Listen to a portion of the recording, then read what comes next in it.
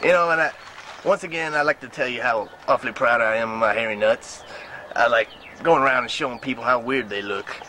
You got part of my, you got part of my behavior. I like to get my nuts out in the, get my nuts out in the world. Like, tell everybody I'm feeling saucy. I'm feeling saucy. but uh, you want to get people to laugh, you just pick up something make, and pretend it's your penis. That's how you make people laugh. It's like, yeah, I take a stick here and be like, oh yeah, that's my penis, everyone. that is my penis. You think that's funny? I know you do. that's why I do it. Because it's so funny. Pretending everything's my penis. It's just funny to use a penis because I can't walk around saying everything's a vagina because not everything looks like a vagina. You get me? You get me?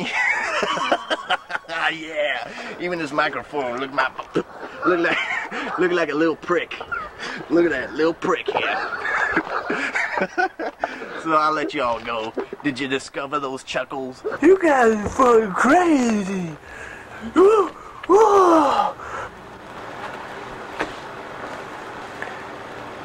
Hey.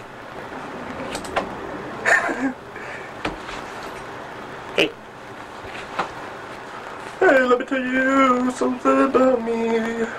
I like to be free. Come on, I like being free. Oh, I like to be free. Oh yeah, I like being free. I want you to worship the devil. I want you to worship little Satan. Cause Satan is my friend. Satan is the greatest person in the world.